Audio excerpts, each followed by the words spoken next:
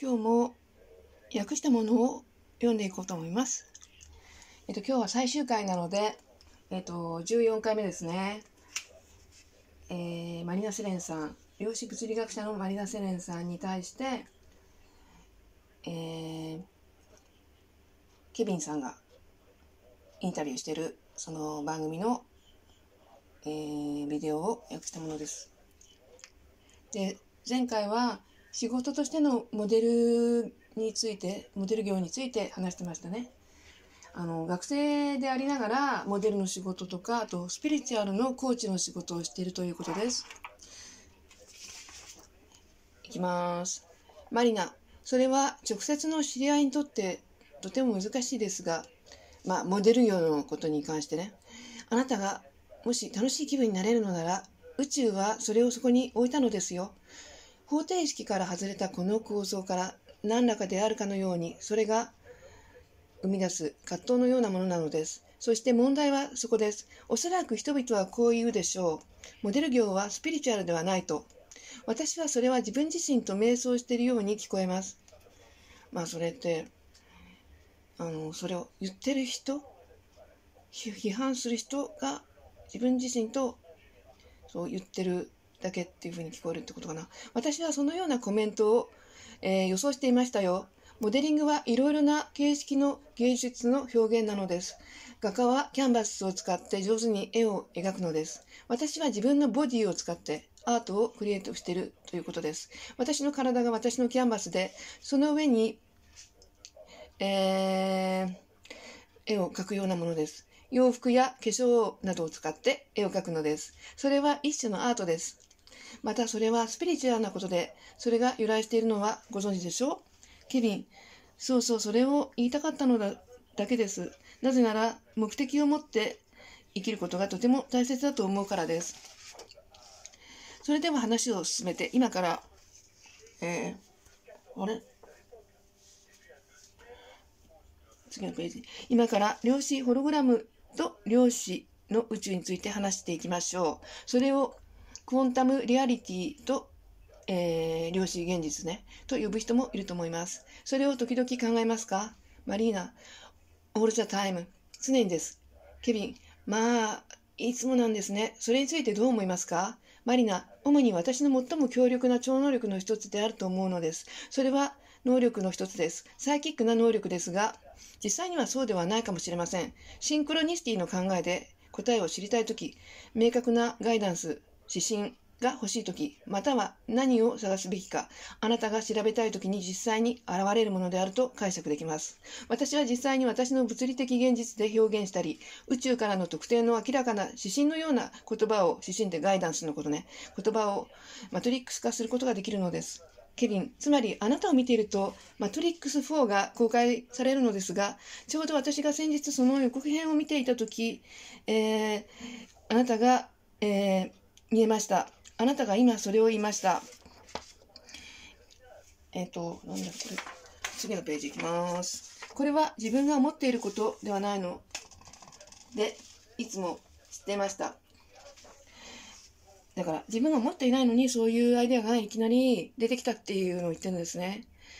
で、マリナさんとシンクロしたっていう、マリナさんからのテレパシーを受けたっていうことを言ってるんですね。えっ、ー、と、これはリアルに見えますが、もしかしたらこれが実際何なのか私たちが理解できることをはるかに超えた何かがあるのかもしれません。そう思いました。これはホログラフォログラフィックなものの私たち独自のバージョンかもしれません。私は言葉ででさえ表現できないのを今説明するためにこう言ってこ、こういうような言葉を使っていますが、マリナ、どうします？あなたが私たちを知っているように、えー、あ、あなたたちが私たちを知っていることに同意します。しかしそれは、えー、経験のポイントなのです。なぜなら私たちが本当にそれらから現実に、えー、現実を認識した場合だからです。とても高い宇宙と存在の認識、それは理解されることができませんでした。この次元が何であるか、この視点が何であるかを言いましょう。それが私たちに教えてくれるのです。ポイントは、統合することであるということを知ってますか？試してみてください。アセンションするには、下から高い視点に統合する必要があるので、両方ともそれらの真のすべての側面のように意識すべてのそのように統合する方法で、私はそれになると思います。ケビン、あなたが成長するのを見るのはとても魅力的で、あなたが始めるのを見るのは非常に興味があります。スペインで物理学物理学のコースを始めるのはいつですか？マリナ、来年です。2022年です。まあ、このインタビューって2021年のものなので、ケビン、そこから4年後、将来あなたがすべきことを分かっているのを見るのはとても興味深いです。物理学の側面に触れたいと思っている、その分野の人々とのインタビューを見ました。その時あなたは形事上学的な側面を持っていましたね。それはとても興味がありました。将来いくいつかあなたと会話でできる日が来ると思いますが、そのために真剣に宿題をせねばなりませんが、それは魅力的です。物理学で何をするか知っていますか？最終目標は何でしょうか？マリナ、本当に興味があります。いつも物理的理論のアイデアに興味があります。すべての理論を説明するのが好きです。マトリックスや量子や、えー、粒子やその他すべてのことを知っています。実際には宇宙船のような反動力、反動力じゃない、反重力、反重力テクノロジーのアイデアが好きです。私にはトゥーレイ協会と呼ばれるソサイアティの一員だった前世があります。反重力のような ET テクノロジーに関する、えー、地球外の知識を伝える媒体によって設立されたものです。私にはそれに関連することが多くあります。あなたにも関連しているかもしれませんよ。ケビン、それでは今日は、えー、もう時間なので、本当に来てくださってありがとうございます。マリナ、ありがとうございます。誘ってくれて本当に嬉しいです。えー、共有できてあとても嬉しかったです。ここまでなんですけれども、えっ、ー、と、まあ、他の人のインタビューもまだまだあるので、これから訳そうと思います。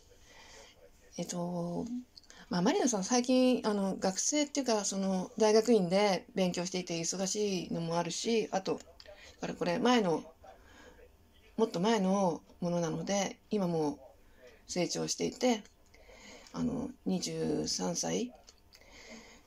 えっ、ー、と、えっ、ー、と、今何歳って言ってたか23だと思うんですけど、それで、若いのにしっかりしてますよね。それで彼女は、あの、 Thule Society や、あと、 Vril Society にいたっていう前世があるって言ってますけれども、その時の記憶があるみたいで、だからそういう話もね、またしようと思うんですけど、まあ、あの、軍人だった、ドイツの軍人だった時の話とか、あと、その人が誰であるかっていうのは、まあ、フランスやドイツのウィキペディアでは出てるけれども、フランス語で読むことはできます。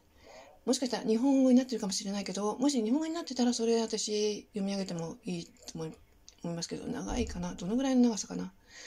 はい。それでは今日はここで終わりにしようと思います。あの、ちょっとね、チョコレートを買い足したっていうか、あの、キンダーサプライズ、スプリーズって、サプライズっていうのよね。キンダーサプライズのチョコレートを買い足しました。このリスのとテントウムシがもう一つ増えました。本当はひよこにしようと思ったんだけど、ひよこがなんか、あの、可愛くなかったから全然顔が。だから、やめました。だからテントウムシが2人になりました。まだね、開けてないけどね、あの、壊すのが怖くて。中は、あの、お土産、お土産じゃない、なんていうの？中にサプライズが入ってるそう。何が入ってるか知らないけど。これはね、前、他のチョコレート、チョコエッグ、フランス製の、がイタリア製か知らないけど、あの、この会社じゃなくて、他の会社のチョコエッグの中にこれが入ってたんですよ。もう何年前から。猫娘。フランスの猫娘ですね、これ。えっ、ー、と、それで、何かのアニメのキャラかもしれないけど、見たことないですね、これ。あとは、ここにコーヒーとお菓子があります。えっ、ー、と、お菓子は、私はあんまりケーキとか食べないから、こういう小さなツナムみたいな、ショコラとか、ショコラ2個とか、コーヒーと、それが私のデザート的なものですね。てか、おやつタイムのものですね。あの、これはアメリカのハーシーっていう会社のホワイトチョコレートですね。ねイギリス版だと中にピーナッツバターの入ってるのがあるんだけどそれもあるんだけどうんこれがアメリカのバージョンでハーシーのアメリカの会社。こっちがイギリスの会社でキャドバリーかもしれないこれ。ピーナッツバター入りの。これと同じ全く同じものなんだけどあの送られてくる先がこっちがイギリスでこっちがアメアメリカが住所として書いてある。これイギリスのキドバリー？えー、あ違う。マッキントッシュ？わかんない。忘れた。違う。リー、リーズって書いてある。リーズって書いてある。そう。これがね、やみつきになっちゃうんですよね。まあまあ、チョコレートは好きですね。あの、ケーキ食べないけど、チョコレートをね、こうやってちょっとつまむのが私のデザートなんですよ。えっ、ー、と、そんな感じかな。あと、ドイツのその例のお菓子開けてみたけど中はあれ？物はどこに行った？物がどこに行った？ドイツのそのお菓子はもう一度開けたのでどこ行った？忘れた。どっか行っちゃってまた次の日に明日あたり出そうと思います。中はねヘーゼルナッツが1個あのホールで入ってるっていうかそのまま一粒入ってるこれね。では、ここでやめようと思います。これからちょっと仕事の、なんだろう、仕事の予習っていうか、私は英語がとても苦手なので、英語の仕事の研修とか始まってるので、頑張ると思います。全然ね、あの、そう、大学生の時にやったっきりっていうか、まあ、書く英語書いたり訳したりする英語できるかもしれないけど耳から聞くのがちょっと。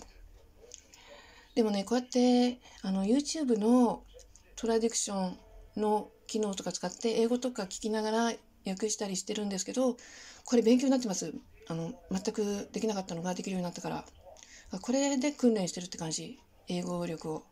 YouTube の動画を見ながらあのトラディクションしてで大体あの通じないような表示が出るでしょ？これじゃ文章として全然通じないようなものが出るから、まあ文章として通じるように訳すわけで。で、私がこれからやる仕事っていうのはそうじゃなくて、あの、日本語のものを英語に訳す仕事を頼まれていて、だから日本語をこう見て、それを間違ってたら全部漢字とかね、直して、オートグラフ直して、それでそれを英語に訳してくださいっていうのが仕事なんだけど、辞書を見ながら必死になってやらなきゃならないって感じですね。できるかわからないけど、できなかったらどうしようって。クビになったらどうしようって感じ。はい、それでは、ここでやめようと思います。チャオチャオ